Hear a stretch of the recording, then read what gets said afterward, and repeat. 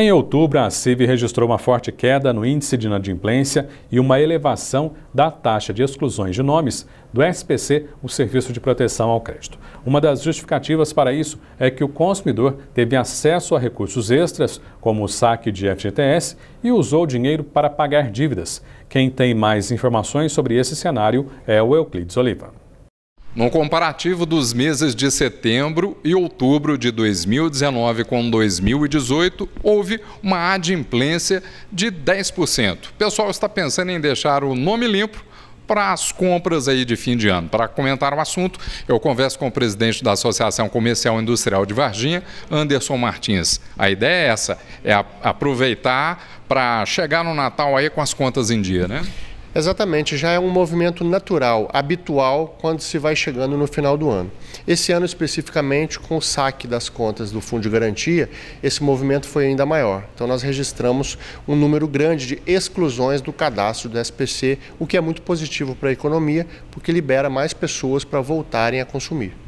Bom, a associação tem um hábito também de fazer aquela negociação já nesse período é, é do ano. Esse ano vocês vão fazer essa negociação para o pessoal conseguir fazer um parcelamento aí no, nos débitos? Como que é? Esse ano nós não estamos fazendo, nós estamos em obra na sede da associação, mas isso provavelmente será feito no início do ano, entre janeiro e fevereiro.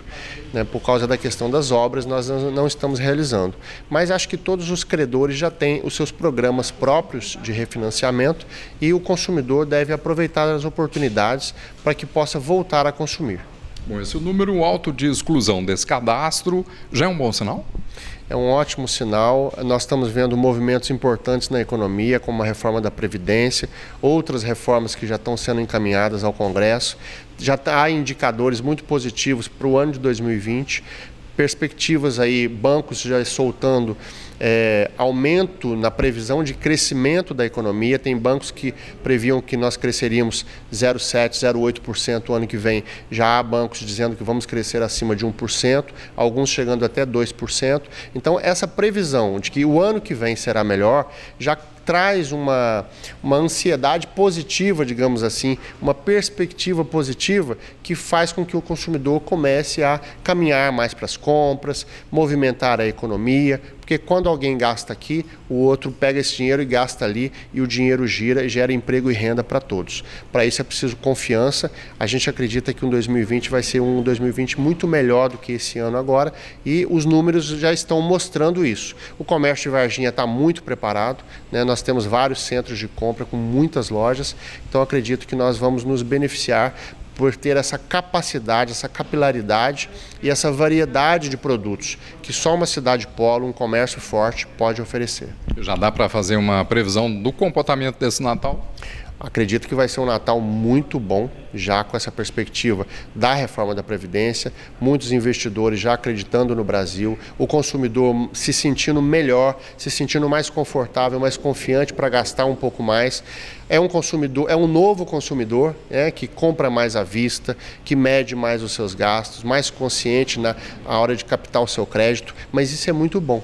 Isso é muito bom porque faz com que os comerciantes também é, trabalhem com preços mais ajustados. Né?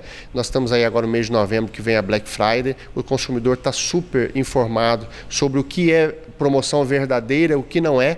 Então, acredito que esse novo nível de consciência do consumidor trará, trará também um novo nível de consciência do comerciante, do empresário, e isso é eficiência. E quando a gente atinge eficiência, é bom para todos os lados. Ok, obrigado pela entrevista. Então fica a dica aí para você. O planejamento financeiro pode fazer toda a diferença. Euclides Oliva para o Jornal Cidade.